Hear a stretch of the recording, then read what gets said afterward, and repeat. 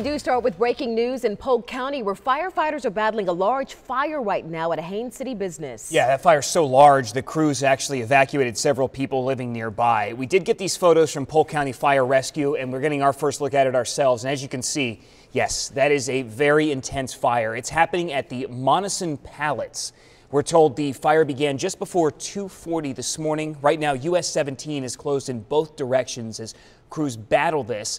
ABC Action News reporter Adam Weiner heading to the scene. He will give us an update on how conditions are coming up live in our 6 o'clock hour.